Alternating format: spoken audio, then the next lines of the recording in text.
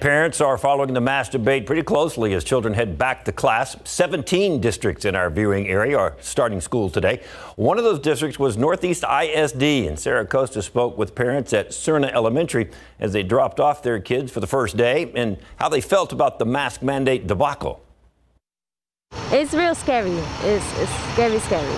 Emily Cruz has a kindergartner and first grader starting in person today at NEISD's Cerna Elementary School. She says she wishes that the mask mandate was still in place because it gave her a peace of mind while her children attended school last year. I'm kind of iffy about it because I know it's going to be more students because I know this year is no virtual at all. So, you know, it's kind of scary. Destiny Pearson kept her daughter Emily at home for her entire first year of elementary school. So today, Emily is stepping into Cerna Elementary School for the first time to start first grade. And mom Destiny is nervous about masks not being mandatory. It's a little bit overwhelming, a little bit.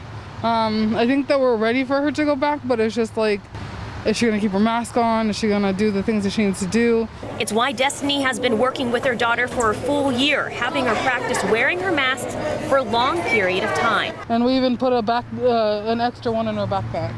So she has a backup back here, and then she has the one on her face. NEISD superintendent putting out a message yesterday saying they are strongly encouraging all students and staff to wear masks on district campuses.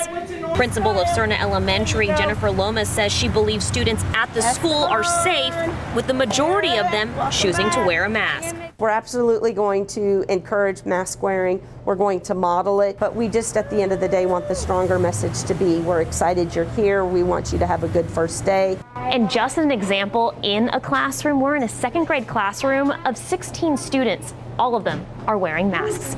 I'm Sarah Acosta, KSAT 12 News.